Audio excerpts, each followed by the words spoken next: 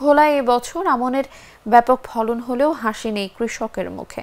ঘূর্ণিঝড় শ্রীতাঙের ক্ষতি কাটাতে হিমশিম খাচ্ছেন তারা। তবে ধানের বাজার মূল্য বেশি পেলে ক্ষতি কাটিয়ে লাভবান হতে পারবেন কৃষকরা।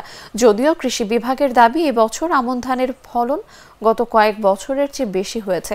এছাড়াও ক্ষতিগ্রস্তদের মাঝে সরকারিভাবে প্রণোদনা বিতরণ করা হবে। সরেজমিনে গিয়ে জানা গেছে, ভোলার সাত উপজেলার আমন ধানের ব্যাপক সফল হয়েছে। মাঠে মাঠে পেকে রয়েছে সোনালী আমন ধান।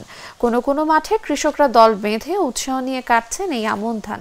তবে গত বছরের চেয়ে বছর আমন ধানের ব্যাপক ফলন হলেও হাসি নেই ভোলার কৃষকদের মুখে।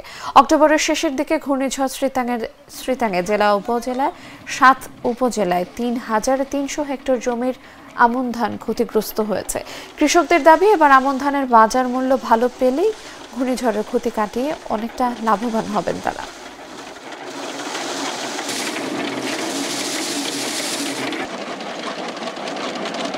আমার চল্লিশ শতাংশ জমিনের ধান ঘূর্ণিঝড়ে নষ্ট করিয়া ফেলাইছে। বাকি জমিনের ধান আমি পরিচর্যার কারণে ইনশাল্লাহ ভালো হয়েছে ওই ধান কেটে আমি ঘরে তুলতেছি।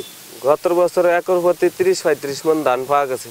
এবারকে আশা করি চল্লিশ পঞ্চাশ মন ধান পাওয়া যাবে। বন্যায় যা ক্ষতি হয়েছে আশা করি পোষায় নেওয়া যাবে। ধান কেটে বাড়ি দিতেছি। বাজার দর কত পামু জানি না কিন্তু আমরা বাজার ভালো পাইলে আমরা লাভবান হব। গত বছর আমরা সাতশো আটশো টাকা ধান বেছি এই বছর বারো তেরোশো টাকা ধান বেচলে আমরা লাভবান। আর বন্যায় যে ক্ষতি হয়েছে এটার পোষায় উঠতে পারব। ভোলা জেলা আমন ধান উৎপাদনে অত্যন্ত গুরুত্বপূর্ণ একটি জেলা। চলতি খরিফ দুই মৌসুমে ভোলা জেলাতে এক লক্ষ পঁচাত্তর হাজার হেক্টর জমিতে আমন ধানের আবাদ হয়েছে। আমন ধানের মাঝ অবস্থাতে ঘূর্ণিঝড় শীতরাঙের আঘাতে ধান কিছুটা ক্ষতিগ্রস্ত হলেও কৃষি বিভাগের সঠিক পরামর্শে একটি ভালো ফলনের দিকে কৃষক যাচ্ছে।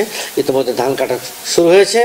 সব কিছু মিলিয়ে বিগত তিন চার বছরের মধ্যে এবার একটি অত্যন্ত আশাব্যঞ্জক ফলন আমরা আশা করতেছি।